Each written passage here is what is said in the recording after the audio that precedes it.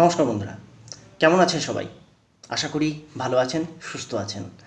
Healthy wealthy চ্যানেলে আপনাদের একবার আবার স্বাগত জানাই। বন্ধুরা, আমার আগের ভিডিওতে আমি যেটা বলেছিলাম যে হেয়ার ফলের একটা মুখ্য কারণ মুখ্য কারণ অর্থাৎ যে কারণের জন্য আমাদের উল্টোপাল্টা প্রোডাক্ট ব্যবহারের জন্য যে হেয়ার ফলটা আমরা ফেস করে থাকি, সেটার ব্যাপারে আমি একটু বিশদে আলোচনা করেছিলাম।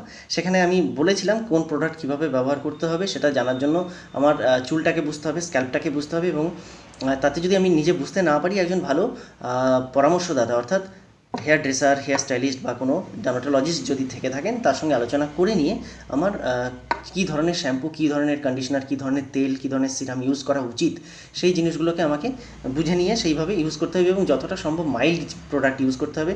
মাইল্ড অর্থাৎ যাতে সালফেট প্যারাবেন সিলিকন এগুলো না থাকে অথবা থাকলেও ভীষণ কম পরিমাণে থাকে। মাইল্ড যে কোনো জিনিস আপনি দেখলে মাইল্ড যদি শ্যাম্পু ব্যবহার করেন, সেখানে দেখবেন আপনি বুঝতেই পেরে যাবেন যে সেটা মাইল্ড কিনা। যখন দেখবেন সেটা একটু ট্রান্সপারেন্ট আছে। তার একটু উগ্র গন্ধ নেই স্মেলটা খুব কম। তো সেই ক্ষেত্রে আপনি বুঝ- বুঝতেই পেরে যাবেন যে এটা মাইল্ড আছে। তো এই রকমভাবে আমি আগের ভিডিওটা কভার করেছিলাম যে কী কী প্রোডাক্ট আপনাকে কীভাবে ব্যবহার করতে হবে। তার সেই ক্ষেত্রে হেয়ার ফলটা অনেক কম হবে। বন্ধুরা, আমি এখানে আজকে কিছু হেলদি লাইফস্টাইল কীভাবে আমরা একটা ইয়ে করতে পারি, যার ফলে আমাদের আর কি কি অভ্যাস আমরা তৈরি করতে পারি, যেটার জন্য বা কি কি অভ্যাস আমরা অ্যাভয়েড করতে পারি, যেটার জন্য আমাদের হেয়ার ফল নর্মালি হয়। তো এখানে সবচেয়ে প্রথমে আমি বলে নেব স্ট্রেস স্ট্রেস হচ্ছে একটা হেয়ার ফল হওয়ার অন্যতম কারণ। তবে নর্মাল কাজে স্ট্রেস বা সামান্য একটু চিন্তিত আছি, সেটা নিয়ে কোনো প্রবলেম নেই। সেটা নিয়ে চুল পড়বে না আপনার।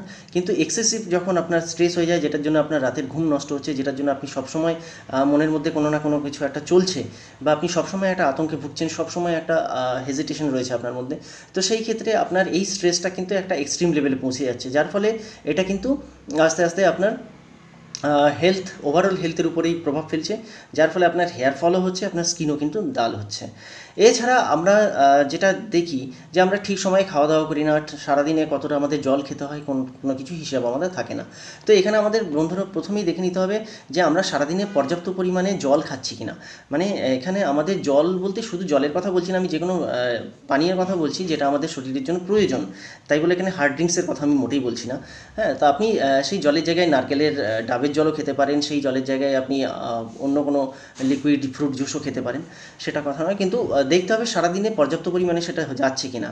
দশ থেকে বারো গ্লাস জল খাওয়ার প্রত্যেক দিন চেষ্টা করবেন, তাতে করে পুরো শরীর হাইড্রেট থাকবে এবং সেক্ষেত্রে চুলও হাইড্রেট থাকবে চুলের শাইন থাকবে এবং ওভারঅল আপনার স্কিনও কিন্তু অনেক গ্লোরিয়াস স্কিন হবে, অনেক গ্লোয়িং স্কিন হবে। তো এটা আপনাকে সবসময় মনে রাখতে হবে, জলটা যেন পর্যাপ্ত মাত্রা হয়। খাওয়ার আপনি যেটা খাবেন, খাওয়ার কী কী খেতে হবে প্রত্যেক দিনের ডায়েটে কী কী খাওয়ার রাখলে আমাদের চুল ভালো থাকবে সেটা আমি নেক্সট ভিডিওতে আলোচনা করব। কারণ এই ভিডিওতে পুরোটা কভার করা অনেকটা লম্বা হয়ে যায়। তো খাবার আপনি যেটাই খাবেন সেটা আমি বলে দেবো। কিন্তু খাবারটা কখন খাবেন, কীভাবে খাবেন সেটাও একটা কিন্তু বড় ফ্যাক্ট এখানে। কারণ অনেকেই আছেন কাজের তাড়নায় বা ব্যস্ততার জন্য ঠিক সময়ে খাবার খান না। তো এটা একটা মুখ্য কারণ কিন্তু আপনার মানে হেয়ার ফল স্কিন ডালনেস বা ওভারঅল আপনার হেলথের খারাপের জন্য এটা কিন্তু একটা মুখ্য কারণ। তো সেক্ষেত্রে আপনাকে সবসময় মনে রাখতে হবে, খাওয়ারটা আপনি যখনই খাবেন খাবারটা যেন সঠিক সময়ে খাওয়া হয়। অর্থাৎ রেগুলার একটা রুটিন ফলো করুন যে এই সময়টাতে আমি লাঞ্চ করব, এই সময়টাতে আমি টিফিন করব স্ন্যাক্স নেব, এই সময়টাতে আমি চা খাব, এই সময়টাতে আমি ডিনার করব। এরকম একটা মোটামুটি একটা নিজের মতো করে রুটিন সাজিয়ে নিতে হবে। আর অবশ্যই আমি বলব, রাতে তাড়াতাড়ি ঘুমোতে যাওয়া, সকালে তাড়াতাড়ি ওঠা সবচেয়ে বেস্ট উপায়। প্রাণায়াম, যোগাসন অভ্যাস করাটা খুব ভালো জিনিস এবং তার সঙ্গে যথেষ্ট পরিমাণে যদি সিজনাল শাকসবজি ফ্রুটস এগুলো খান, এটা খুব দরকার। এগুলো তাহলে পরে এমনিতেই হেলথ ওয়াইজ আপনার শুধু হেয়ার স্কিন নয়, আপনার ওভারঅল হেলথই কিন্তু ভালো থাকে। এবার বন্ধুরা আরও আলোচনা করে নেব এখানে একবার সবচেয়ে বড় কথা হচ্ছে আমরা অনেকেই আছি সঠিকভাবে ঘুমোই না। ছয় থেকে আট ঘণ্টা আমাদের ঘুম কিন্তু ভীষণ দরকার। একটা ভালো হেলথের জন্য, চুলের জন্য আমাদের ছয় থেকে আট ঘণ্টা প্রচুর ঘুমের প্রয়োজন। আচ্ছা কারণ এতেই নতুন ফলিকেলস তৈরি হয়, নতুন কোলাজেন তৈরি হতে সাহায্য করে। ঠিক আছে? এরপর আমরা যেটা করব, আমরা অনেকেই স্মোকিং তারপরে অ্যালকোহল নেওয়া, এগুলো ব্যাড হ্যাবিটের সঙ্গে জড়িয়ে থাকি। তারপর রাত অযথা রাত জেগে থাকি, গল্প করি তো এই সমস্ত ব্যাপারগুলো থেকে আমাদেরকে একটু বেরিয়ে আসতে হবে, তাড়াতাড়ি শুয়ে পড়তে হবে স্মোকিং অ্যালকোহল এই জিনিস অ্যাডিকশান থেকে আমাদেরকে একটু দূরে থাকতে হবে। আর আমরা যে প্রোডাক্টগুলো প্রোডাক্টের ব্যাপারে আগেই বলেছিলাম সেটা তো অবশ্যই মনে মাথায় রাখতেই হবে। তার সঙ্গে আমরা যেটা করব সানলাইট সানলাইটকে আমাদের কিন্তু একটু অ্যাভয়েড করে চলতে হবে। কারণ সানলাইট হচ্ছে কি আমাদের হেয়ারের মানে অতিরিক্ত সানলাইটের জন্য আমাদের হেয়ার কিন্তু ড্রাই হয়ে যায় রাফ হয়ে যায় স্মুথনেস চলে যায়। আর একটা ফেডনেস ভাব অর্থাৎ তার ন্যাচুরাল যে কালারটা আমাদের হেয়ারের যে ন্যাচুরাল কালার সেই ন্যাচুরাল কালার কিন্তু অনেকটা নষ্ট হয়ে যায়। তো যার জন্য আমরা যখনই সান এক্সপোজ করব, তখন আমরা চেষ্টা করব আমাদের সরাসরি যেন সানলাইট আমাদের হেয়ার হেয়ারে না আসে বা সান এক্সপোজ সরাসরি যেন না হয়। তো সেই ক্ষেত্রে আমাদেরকে কোনো ভালো সিরাম ইউজ করতে হবে যেটাকে যেটা হেয়ারকে প্রোটেক্ট রাখে, সেই ধরনের সিরাম কোনো কিছু ইউজ করতে হবে। আর ছাতা বা এই ধরনের কোনো কিছু অবলম্বন আমাদেরকে নিতে হবে যাতে আমাদের সরাসরি সানলাইট আমাদের হেয়ারে না পড়ে। দ্বিতীয় আর এরপরে হচ্ছে যেটা আমাদের রেগুলার হেয়ার ট্রিমিংয়ের একটা অভ্যাস গড়ে তুলতে হবে, যার ফলে আমাদের হেয়ার কিন্তু ভালো থাকবে। হেয়ার ট্রিম করলে কি হয়? হেয়ার ট্রিম করলে হেয়ার তো একটু ছোট হয়ে যায়, স্বভাবই। কিন্তু হেয়ার ট্রিম করলে কি হয়? দুমুখ হেয়ারটা হয় না। তা দুমুখ হেয়ার না হওয়ার জন্য হেয়ারের গ্রোথটা ঠিক হয়।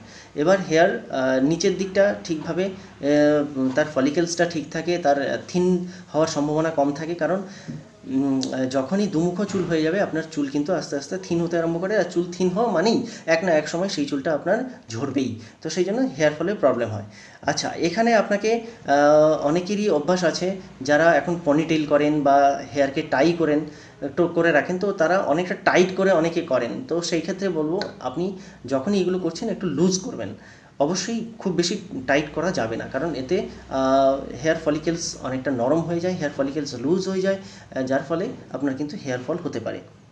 দ্বিতীয় কথা এরপরে হলো গিয়ে আপনার যেটা করতে হবে হেয়ারকে খুব বেশি লম্বা না রাখাই ভালো, কারণ হেয়ার যখন খুব বেশি লম্বা হয়, তখন হেয়ারের একটা স্বাভাবিক ওজন চলে আসে। এবং যখন আপনি শ্যাম্পু করছেন বা হেয়ার জল দিয়ে ধুচ্ছেন, সেই ক্ষেত্রে চুলের ওজন কিন্তু অনেকটাই বেশি হয়ে যাচ্ছে, যার ফলে কি হচ্ছে, আপনার স্ক্যাল্পের উপরে একটা আলাদা প্রেশার তৈরি হচ্ছে। যার ফলে যেই জায়গাগুলো একটু সেন্সিটিভ আছে, সেখান থেকে কিন্তু অটোমেটিক্যালি আবার হেয়ার ফল হওয়ার সম্ভাবনা থাকছে। এছাড়া আপনাকে যেটা করতে হবে, ভেজা চুলে চিরুনি করা যাবে না। ভেজা চুলে চিরুনি করতে গেলে আপনার বেশি ফোর্স দিতে হবে। বেশি ফোর্স দিলে আপনার স্ক্যাল্পের আপনি ক্ষতি করছেন, আপনার চুলের ফলিকেলসের ক্ষতি হচ্ছে। চুনের চুলের উপরের যে ভাগটা থাকছে, যেটাকে আমরা কিউটিক্যাল লেয়ার বলে থাকি, সেই কিউটিক্যাল লেয়ারের আপনি ক্ষতি করছেন। যার ফলে কি হচ্ছে আস্তে আস্তে চুলের ভেতরের অংশ অর্থাৎ কোটেক্স লেয়ার বাইরে চলে আসছে এবং সেই ক্ষেত্রে সান এক্সপোজ হয়ে যাচ্ছে, বিভিন্ন রকম ফ্রি রেডিকেলস বাইরে ঘুরে বেড়াচ্ছে, তারা হেয়ারটাকে নষ্ট করে দিচ্ছে এবং হেয়ার ফল আপনি ফেস করছেন। তো সেই ক্ষেত্রে খুব বেশি চুল টাই করা যাবে না টাইট করে বাঁধা যাবে না, চুলে ভেজা চুলে চিরুনি একদম করা যাবে না। আর লম্বা চুল খুব বেশি না রাখাই ভালো। অনেকের লম্বা চুল রাখার শখ আছে। তো সেই ক্ষেত্রে আমি বলব, আপনি যদি ইয়ে লম্বা চুল রাখেন, তো সেই ক্ষেত্রে আপনাকে লম্বা চুলের জন্য আলাদা করে যত্নশীল হতে হবে এবং সঠিক প্রোডাক্ট ইউজ করতে হবে, সময় মতো স্ক্যাল্পকে পরিষ্কার রাখতে হবে, সময় মতো চুলকে পরিষ্কার রাখতে হবে।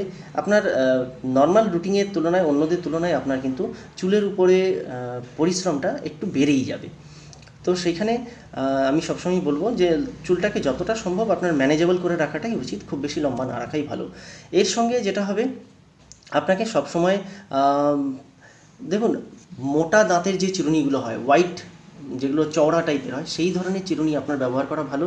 কাঠের চিরুনি আয়ুর্বেদ বলে, কাঠের চিরুনি ব্যবহার করা সবচেয়ে ভালো। তো কারণ কাঠের চিরুনি দিয়ে আপনি যখন করছেন, তখন কোনো ইলেকট্রিসিটি মানে ফ্রিকশন তৈরি হচ্ছে না। যার ফলে চুলে কোনো রকম প্রভাব তার পড়ছে না, যার ফলে চুল ভালো থাকছে। সেই জন্য কাঠের চিরুনি সবসময় ভালো। আপনি মোটা দাঁতের কাঠের চিরুনি ব্যবহার করুন, চুল ঝরবে অনেক কম। আর মাঝে মধ্যেই চুলে স্ক্যাল্প মাসাজ করার চেষ্টা করুন। যখনই আপনি হালকা হালকা মাসাজ করবেন রোটেশন হালকা ফিঙ্গার রোটেশন দিয়ে আপনি মাসাজ করবেন, আপনার ব্লাড সার্কুলেশন ভালো থাকবে, আপনার হেয়ারও ভালো থাকবে, আপনার স্ক্যাল্পও ভালো থাকবে। তবে আমি এখানে অয়েলি স্ক্যাল্প যাদের আছে অয়েলি স্ক্যাল্পের ক্ষেত্রে আমি বলব খুব বেশি মাসাজ না করাই ভালো, কারণ তাতে বেশি সিবাম সিক্রিয়েশন হয় এবং প্রচুর পরিমাণে আপনার স্ক্যাল্প অয়েলি হওয়ার ফলে আপনার কিন্তু হেয়ার ফলের সমস্যা আরও বাড়তে পারে। আচ্ছা দ্বিতীয় কথা আমি আরেকটা কথা বলতে পারি, যে হেলদি লাইফস্টাইল তো এখানে আমরা মোটামুটি কভার করলাম। হেলদি লাইফস্টাইল কীভাবে করতে হবে আমরা জানি। আমরা নিজেরা অনেকটা বুঝি আমাদের কি করতে হবে। যোগাসন, প্রাণায়ামের অভ্যাস গড়ে তোলা সঠিক সময়ে খাবার খাওয়া, প্রচুর পরিমাণে জলপান করা, সব সময় নিজেকে হ্যাপি রাখা ভালো খাদ্যাভ্যাস গড়ে তোলা। আচ্ছা তারপর রাতে তাড়াতাড়ি ঘুমোতে যাওয়া এবং প্রপার ছয় থেকে আট ঘণ্টা ঘুমানো, এগুলো হচ্ছে ভীষণভাবে দরকার ওভারঅল পুরো হেলথের জন্য। তো আশা করি আমি হেলদি লাইফস্টাইল ব্যাপারটা কি বোঝাতে পারলাম, আপনি অবশ্যই এই জিনিসগুলোকে ধ্যান দিলে আপনার চুল অনেকটাই ভালো থাকবে স্কিনও ভালো থাকবে এবং ওভারঅল আপনার হেলথও ভালো থাকবে। অ্যাভয়েড করবেন সেই জিনিসগুলোকে যেগুলো আমাদের শরীরের জন্য ক্ষতি, ক্ষতিকর সিগারেট ধূমপান, তারপর ধরুন অ্যালকোহল নেওয়া, এগুলো সত্যিই ভীষণভাবে ক্ষতিকর। তো এই জিনিসগুলো থেকে আমাদেরকে দূরে থাকতে হবে। এইভাবে একটা লাইফস্টাইল মোটামুটি গড়ে তুলুন। আশা করি আপনার চুল এমনিতেই যদি আপনার জেনেটিক প্রবলেম হয়ে থাকে, সেই ক্ষেত্রেও কিন্তু আপনি অনেকটা মানে প্রতিহত করতে সক্ষম হবেন। আর কে জানে? হতেও পারে আপনার নতুন রিগ্রোথও হতে পারে। নতুন রিগ্রোথটা আমরা কখনো গ্যারান্টি দিয়ে বলতে পারি না, কিন্তু অনেকের ক্ষেত্রেই নতুন রিগ্রোথ হয়। এরপরে আমি আরও কিছু নতুন তথ্য নিয়ে আসব, কিছু হেয়ার প্যাকের ব্যাপারে কথা বলব যেগুলো আপনি যদি রেগুলার ব্যবহার করেন বা কিছু তেলের কথা বলব, কিছু শ্যাম্পুর কথা বলব, তো সেইগুলো যদি আপনি ব্যবহার করতে পারেন তো সেই ক্ষেত্রে অটোমেটিক্যালি আপনার হেয়ার ফলের সমস্যা অনেকটাই কমে যাবে এবং আপনার বয়স যদি পঁয়ত্রিশের মধ্যে হয়, তো সেই ক্ষেত্রে আপনার হেয়ার ফল কমে গিয়ে নতুন রিগ্রোথ হওয়ার সম্ভাবনাও থাকে। নমস্কার, এই পর্যন্তই থাকল আজকের ভিডিও আর ভালো লাগে